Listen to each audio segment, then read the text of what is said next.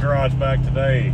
We are driving a, I believe this is a 2006 uh, 60 F250 and we're going to do an oil cooler and let me show you why we're doing an oil cooler on here today.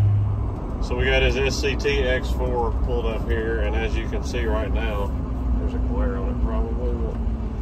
This coolant temp and oil temp is almost 20 degrees apart and I'm driving it like an old man right now. We're getting ready to get on the interstate here. So you'll see how much this goes up. Just I'm not even gonna shower down on it real hard, but you'll see how much it goes up. So even driving it like an old man, we're exceeding the 15 degree difference that's acceptable.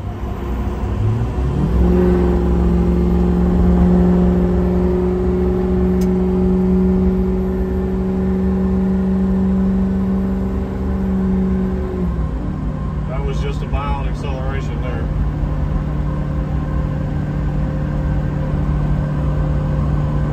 It's climbing on up. So we're going to go through the flushing of the coolant system with uh, Motorcraft VC9 flush and not just doing a half-ass flush of it, uh, doing it right so we can try to get anything and everything out of the system. We're going to uh, back flush the heater core also so we can make sure we got this as clean as we can. We're going back with the cat coolant Caterpillar.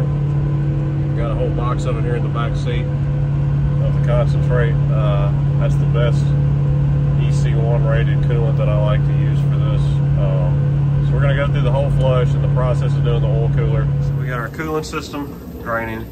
No, that bucket was not totally clean, so I have no fear that's not what the coolant system uh, has in it. It has the gold in it, which is not good, but it's coming out. It is clean, not terrible. All right, so we're flushing our system. This is not something you're gonna go buy in the store. This is actually a piece of a heater core from a uh, 08 to 10 6.4 when I've replaced the heater core and not taken the whole heater box out. Um, you know, that's why you keep stuff. Uh, just the right size to fit in here. Adapted to a garden hose. This is actually part of a washing machine hose, rubber washing machine hose that screws onto my nozzle. So we can lock the nozzle open and just flush the system if we want to and let it run. But another key part of this is sitting here and giving it some burst to try to move any sediment out. So our goal here is, is we're just flushing anything's in the system out, any of the coolant out. Uh, like I said, going through the degas bottle too. The drain is still out of the radiator. We're gonna run the truck for a minute. We're gonna drain this. We're gonna fill it back up with tap water again and the VC9, then we're gonna run the truck for an hour. Then we're gonna do this again and we got to get all the VC9 out of the system really good. Then we pull the, the block, the drains out of the block on both sides, continue doing this, then reinstall, and then we fill it up with some distilled water. And we're gonna run it again for a minute with distilled water, circulate it through the system, open the system back up and drain it and get ready for work. That way, when we fill up at the end, we, uh, we got as much of the tap water out of the system as we can to have distilled water in it versus uh, some mineral enriched water.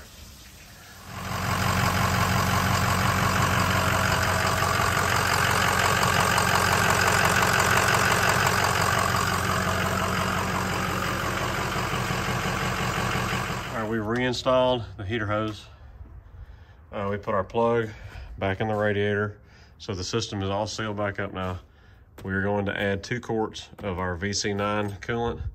Uh, we're gonna do it while we're adding some water to kind of help it mix. Uh, this stuff's a little bit potent, so I don't just put it straight in kind of mix it with some water. So uh, we're gonna do that. We're gonna run the truck for an hour. I'm gonna drive it a little bit. I'm gonna hook up the AutoEnginuity and set the high idle for 1200 and let it idle here in the driveway some after I drive it. Uh, after that, we'll let the system cool a little bit. We're gonna go back through this whole flush procedure, including removing both the plugs in the block to get everything out of it. All right, so we've driven the truck a little over an hour now with the VC9 flush in it. I got on the interstate, did some stop and go, let it idle some.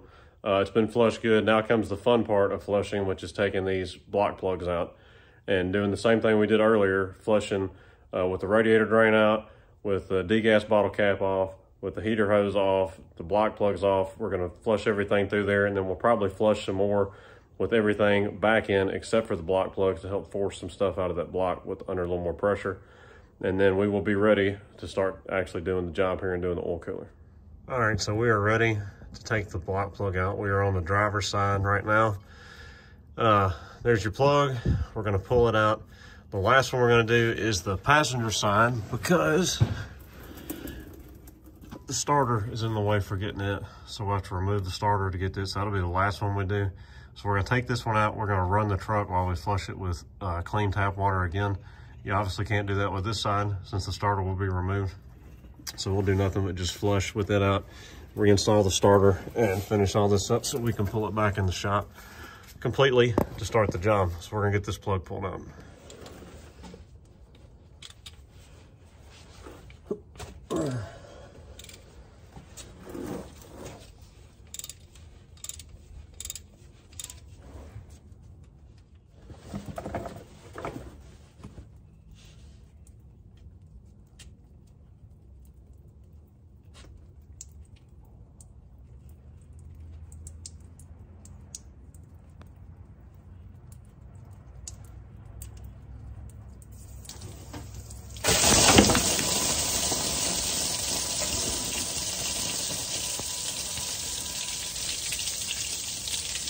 All right, so we have our starter removed and just dangling.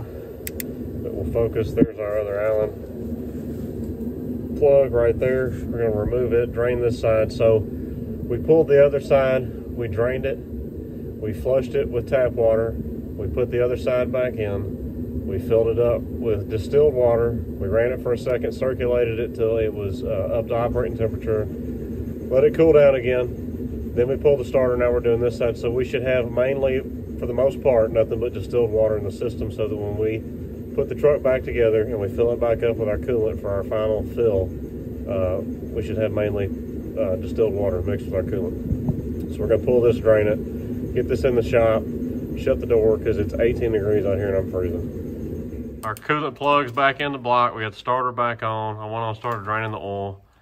Gary's here now he's done got a head start on some stuff while I was doing that. He's got the air intake took off. Uh, he's getting ready to start on this charge air cooler pipe. So we're gonna get down to the nitty gritty of getting to the oil cooler.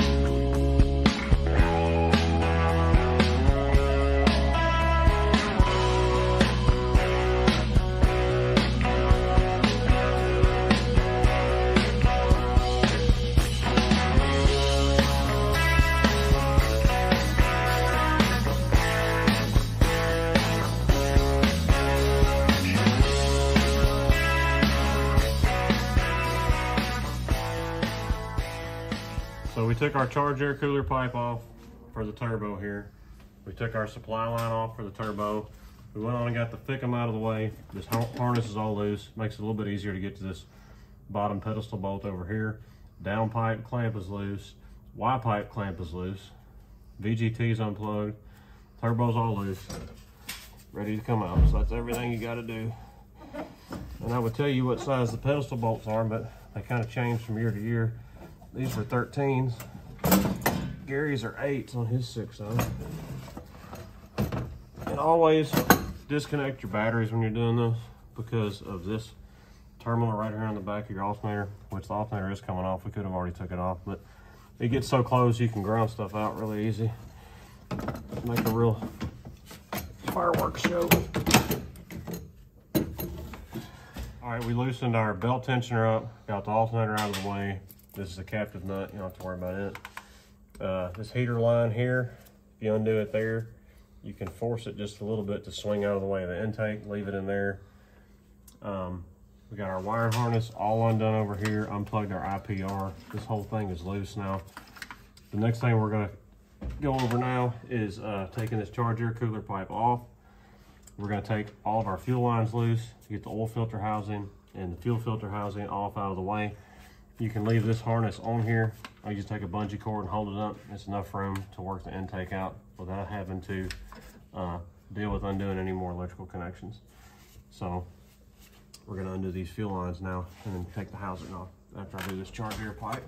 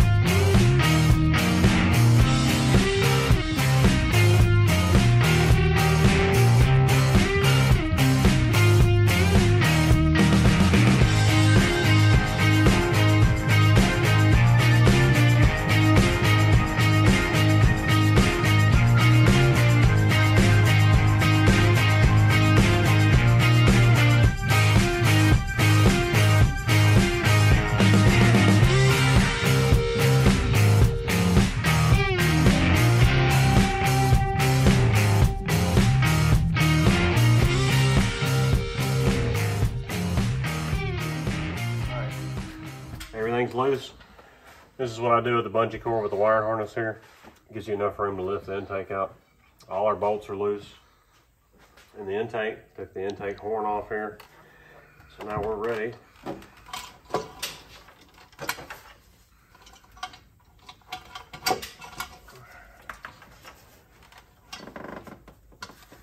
The gaskets are hanging down probably an inch lower than with the intake.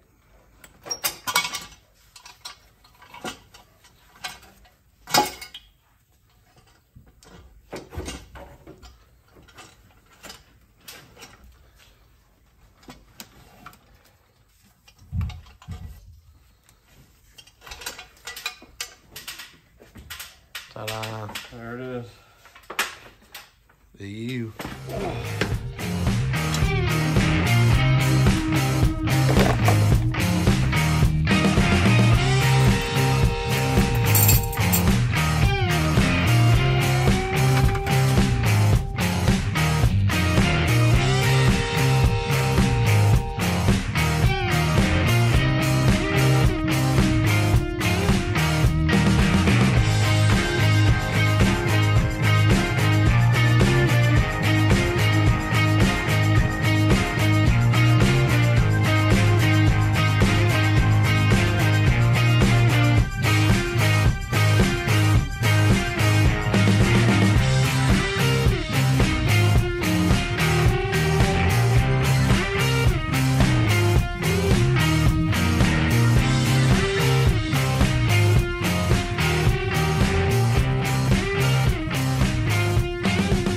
so we pumped all of our oil out of our reservoir.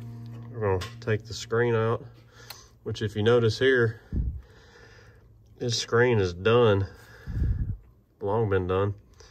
Gotta pump a little oil out of there. See if there's remnants of the screen anywhere now. That's not good. And then we get to clean all this up. Uh, warning, Uh, if you use shop towels or something, you have a chance of getting fuzz in here. There's nothing wrong with doing that, but when you're done, use a shop vac. Use something that's lint free. Make sure you don't have any pieces of fuzz in there because what it will do is going to go through the system. It'll stop a screen up. It'll end up getting back to your IPR back there and stopping it up, causing you a whole nother set of problems. So this has got to be clean. Uh, like I've said before, cleanliness is next to godliness on six O's here because uh, you'll, you'll mess up all kind of stuff. You'll stop screens up, you'll blow screens out. The screens will get stopped up enough that then they'll just break and then allow all kind of trash past them. All right, so we've stopped up most of our oil. So now what you want to do is take your paper towel and you're going to stop up that hole that's in the back of your screen there. So because we don't want to get any trash in there. We're going to lay another paper towel down in here to catch any excess trash. And when we're all done, we're going to vacuum this all out and get every single remnant of anything that could have fallen down in here. So now a lot of people aren't going to do this, but we're going to clean all around this edge. We're going to get this whole valley clean because last thing you want is oil and grit and crap all in here. You've opened the system up. You're going to run it. You want to be able to see a leak or a problem that you have. Not to mention, who wants to give this back to the customer with the valley all nasty? So here's where you come into play with your your putty knife. You're gonna sit here, we're gonna get all this, this stuff up. We're gonna get this whole valley all cleaned up. That's why we went and took the turbo pedestal off too. Plus it's easier to put this back on with the EGR delete that was on here and everything else. You don't have to fight with the blue hose. You can have it all tightened up when you put it in here. So we're gonna get this all cleaned up. That's how it's supposed to be. And when you take your, you don't wanna rub on all this with your paper towel. What I would do is I spray with brake cleaner. I stop that hole up. I spray with brake cleaner. I let the brake cleaner puddle up and I'll dab it with a paper towel. If you rub on this with a paper towel, this is coarse. That's when you start getting fuzz and everything in here. Or a rag or whatever you're using. Don't rub on this. This is just coarse cast, uh, cast iron. It's gonna knock fuzz off whatever you're cleaning with. So just stop your hole, hole up, clean with brake cleaner, let the brake cleaner do the work and then sop it up at the bottom. After your brake cleaner's dried up, don't suck brake cleaner up in a vacuum. That's asking for a mistake, isn't it? Yeah. Um, after it's all dried up, take your vacuum cleaner and, and, then vacuum in here. Any little bits, pieces, dust, fuzz, whatever, let the vacuum cleaner suck that up. And then this is nice and clean. So when we had our paper towel here earlier, I cleaned the rest of the valley up where the turbo pedestal was. Even got around the high pressure oil pump back there, got it cleaned up for them. I know it does not look perfect, but it is a lot better than it was. When you look at how much junk and crust and everything we got off of everything. It'll be way neater. Uh, always cover up your intake so you're not dropping stuff down in there. All these little round ports here, stop them up when you're really cleaning them. When you're done, take your vacuum cleaner. Even if there's some oil or whatever, let your vacuum cleaner just suck it all up and get anything that's in there out so you know where there's not any trash in anything. So now we're ready to swap our oil cooler out on the mount here. We got cleaning up to do on it and then we'll be ready to reinstall. All right, so you got a 13 millimeter you get two 13s on the bottom that hold the cooler up to the housing here.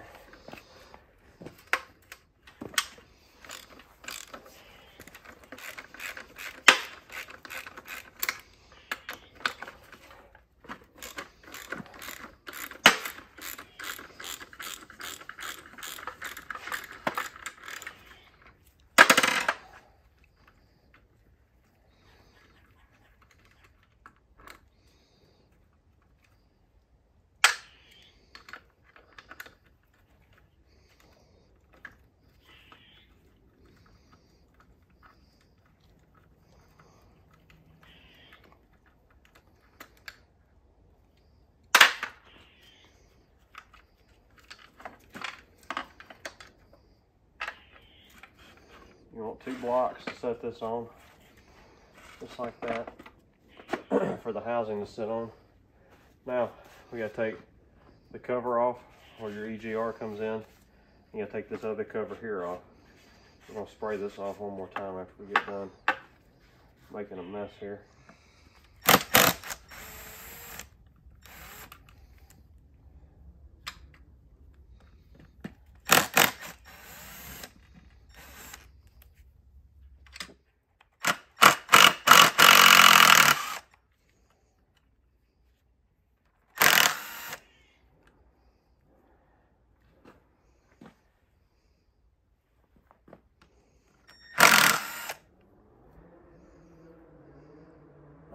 To the bigger one.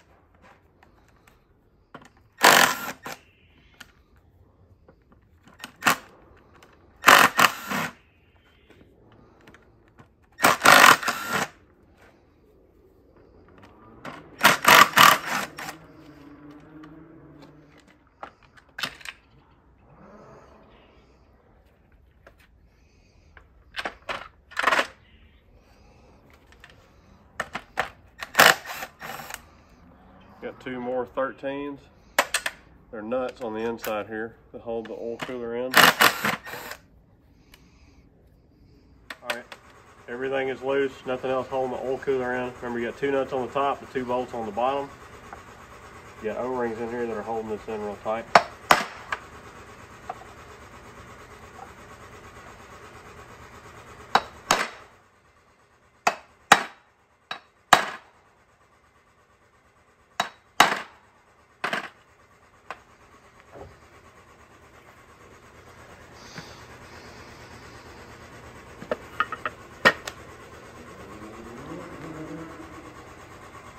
There's your old oil cooler right there.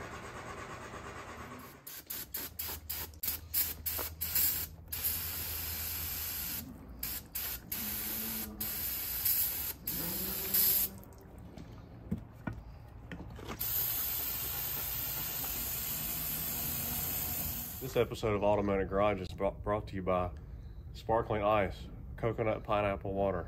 Whenever I'm working and I get thirsty, I like to have a swig of delicious coconut, pineapple, zero sugar sparkling water.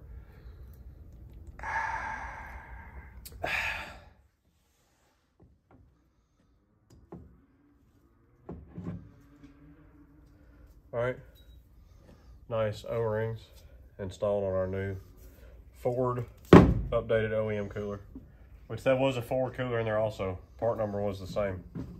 So this truck had been somewhere else prior to us working on it because we were busy, so we couldn't put a set of injectors in it for him. But suppose they did a coolant flush.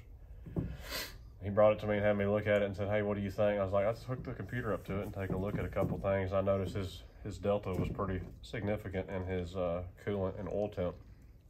And I told him to watch it while he drove it, and he actually pulled his side by side, which is not much of a load somewhere, and he was hitting 30 degrees difference. So that was the smell that Gary kept noticing when we took it apart. Man, it smells like burnt oil. His his oil was was getting cooked because of uh, his cooler not working like it should. And that they had put the gold coolant back in it. Don't put gold coolant back in these. Isn't that right, Gary? That's right. What do you put in it, Gary? Cat. Cat EC1. Supposedly like a million mile coolant is what they say it is. Yeah. But that's sure you sure do pay for it like it is. Got our new O-rings put on the cooler. We got our new O-rings put in the cover here. Here you can't see crap over there. Oh, can't with me um, sitting down, dang. New O-rings put in the cover here. Everything's lubed up with some fresh oil. I'm gonna put this in.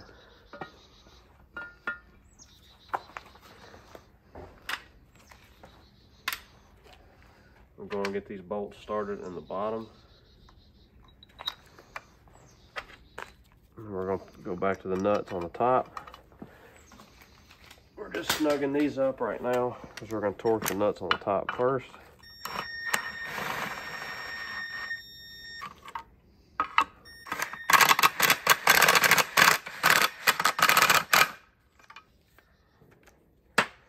Flip this over.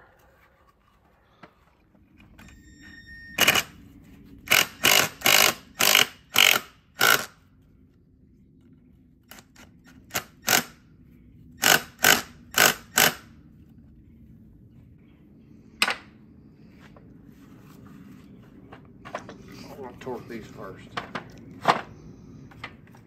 16 foot pounds what we're going to.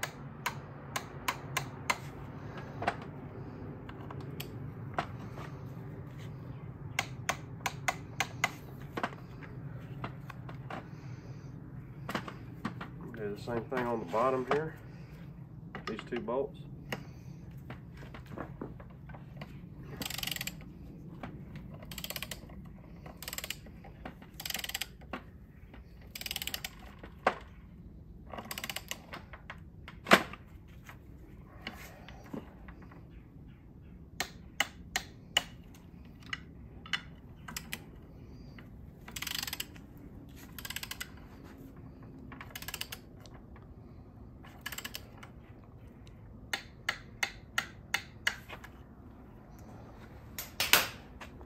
That's how you put old cooler in right there.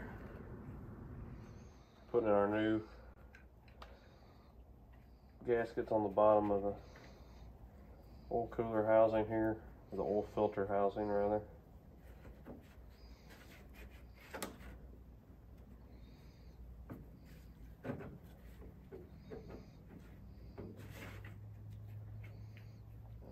Stay.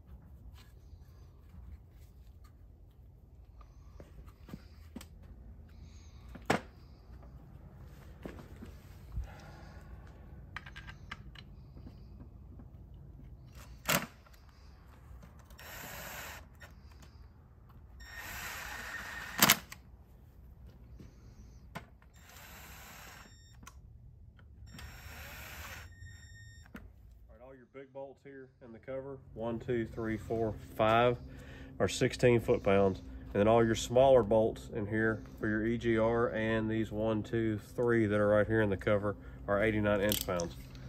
So we're gonna try to go in somewhat of a crisscross pattern here.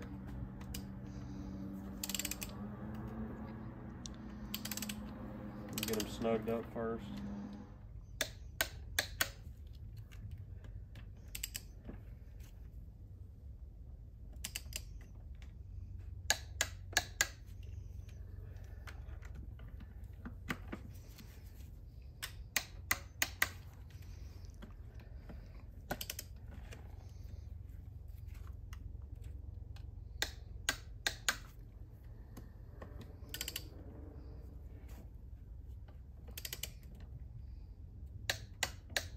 All right, now I get my inch pound wrench.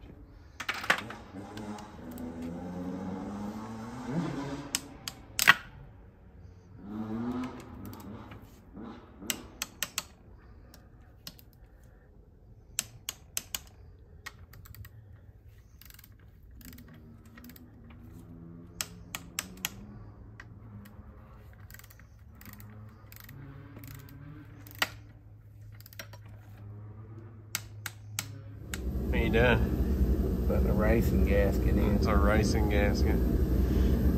What do you got to be real careful with this racing gasket about? Not getting it twisted. Not getting it twisted, but you want to make sure you get it pushed all the way down in here, all the way around, because you sure don't want to leak.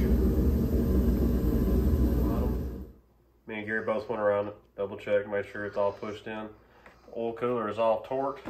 We decided to replace his blue coolant tube right here on his EGR. His looked uh, like it could be better. I had uh, enough sitting around to make him another one. We're putting our new screen in down here real quick. We're gonna pre-fill this with a little bit of oil so we don't starve the system when we go to crank it up. After work so hard to, to build pressure. So we're gonna pour a little oil in here. You want a funnel? Or you can just pour it in the valley. I actually had to take this jug to Ford the other day and get it filled because you can't get oil anywhere right now. They didn't have any oil to sell to anyone in a jug either. So I said, hey, if I bring you a nice clean jug that I just recently poured some of your Motorcraft oil out of, would you fill it from your bulk in the shop? And they said, well, since you're such an awesome guy, do that for you. And they said, and since Gary works with you. Uh-huh. That's really the thing that made it happen. Yeah. Where's the cat for this? Not Troy. Where's the cat?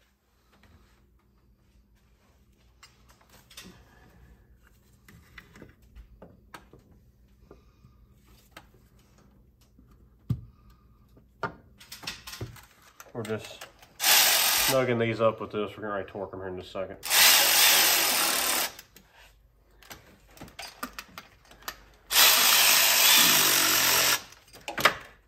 Doing 16 foot pounds on oil cooler cover to the valley or 192 inch pounds. I like using my smaller inch pound wrench here. And just try to crisscross back and forth. I'm going corner to corner first.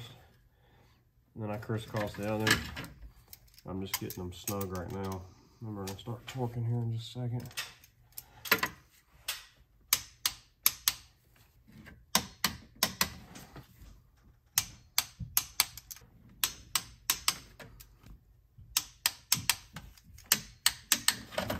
So we got our intake ready to go back on. Oil cooler cover is all torqued down. Um, we're gonna uncover our tape off of where the intake manifold goes. Got the new gaskets on, got the EGR put back on with the new O-rings and new gasket on it. It's not torqued down, it's just snugged up. So we're gonna wrestle this thing in here, which is fun to do with the wiring harness and everything. And get that put on.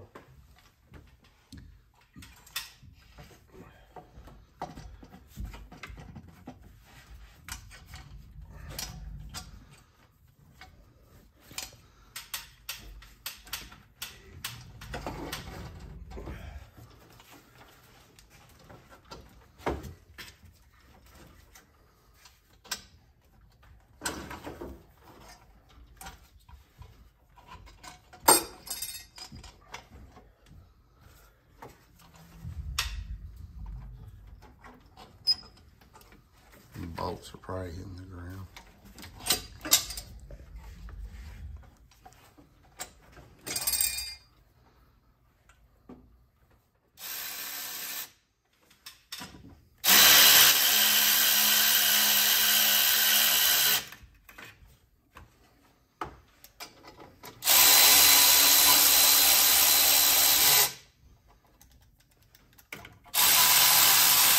So when you put your manifold on, you just barely snug them up because you're only going to eight foot pounds.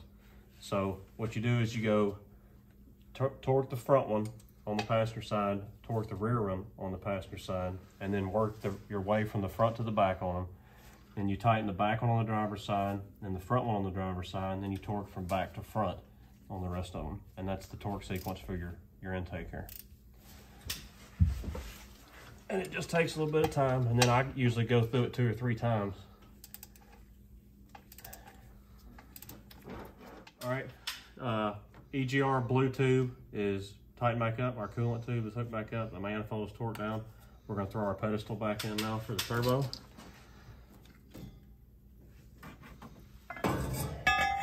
Torquing the pedestal down, which, what was it, two of these? One of these was laying in the valley. And Yeah. one of them I pull up with my fingers. It's already 18 with the ratchet. ratchet. So you find these loose a lot of times. So make sure you torque them.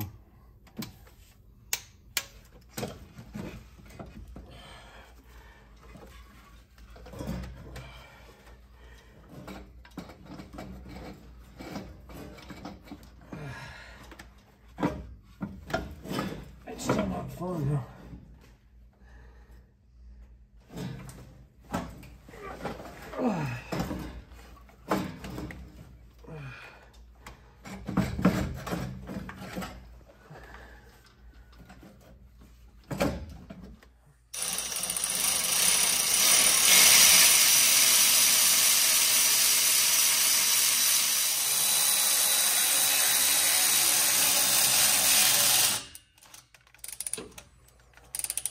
You know what I like to do when I put a turbo in here What? and I get done putting it in? What do you like to do? Just sit here and just look at it.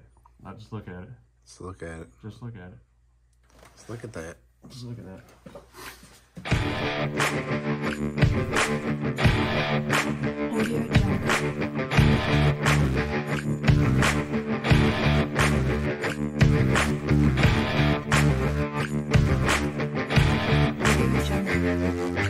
that.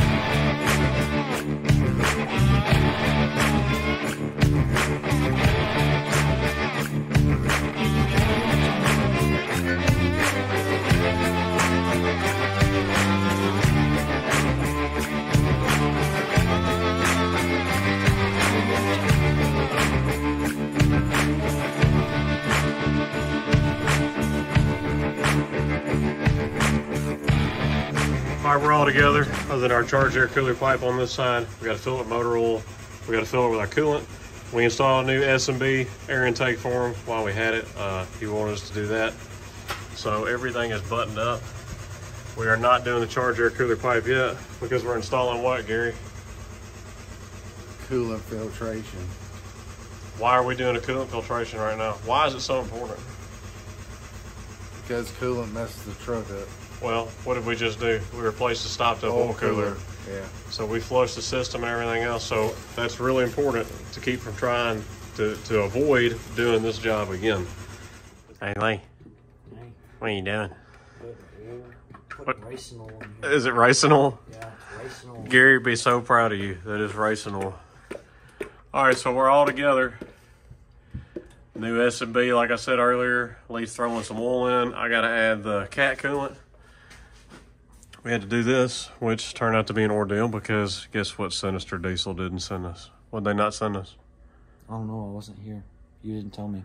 You just got done helping me do it. Yeah, but you didn't tell me what they didn't send you. We had to make the bracket right here.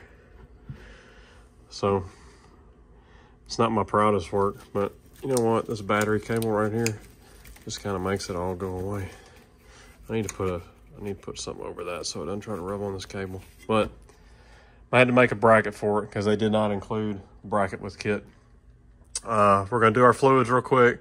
We're gonna hook up the AutoEnginuity real quick, make sure this is building high pressure oil and all that hunky dory while we're cranking on it. And uh, we'll catch up with y'all then. You know what I like to do when I mix up cat coolant antifreeze? Strain it. Just look at it. I like to look at it because it's so pretty.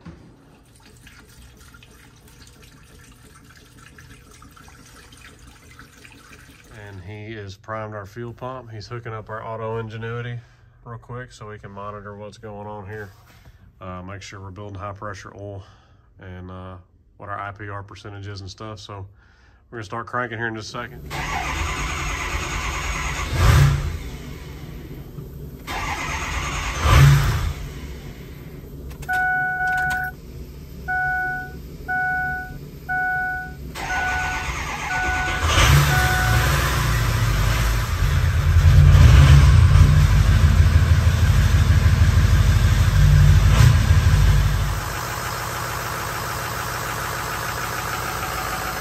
Hi guys, hope y'all enjoyed the video on doing this oil cooler on this 6.0. The main thing is flush that system, flush it, flush it, flush it before you take it apart. Uh, do the coolant filtration. Make sure you go back with the Ford OEM updated cooler at least. Or uh, in my world, I think the best thing you could possibly do is go with that bulletproof diesel external uh, oil cooler. But that's not in everybody's budget. But that's the way to, to truly fix this problem forever on these. Um, so this is Automedic Garage signing out. Y'all like, subscribe, comment, check us out at Facebook, Instagram, and Rumble.